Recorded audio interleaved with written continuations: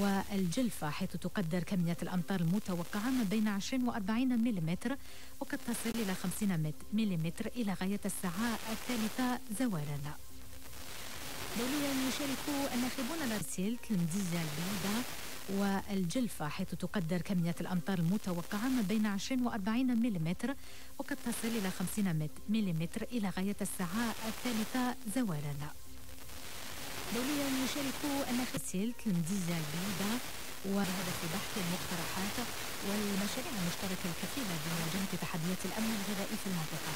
وتشكل هذه الندوة فرصة لتعزيز الجهود والقدرات المشتركة وتجميع الخبرات العربية لاقتراح مشاريع بحثية ابتكارية وتنموية مشتركة ملموس يمكن تنفيذها على المدى لمواجهة تحديات الأمن الغذائي في المنطقة العربية. كشف وزير الشؤون الدينية والأوقاف يوسف بالمهدي أن أزيد من 42 ألف حاج جزائري معنيون بمناسك هذه الشعيرة الدينية في البقاع المكرمة خلال موسم الثلاث في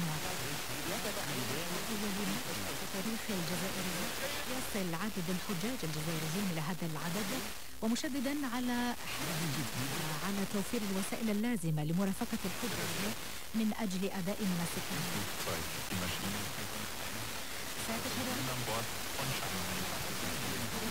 تكون رعد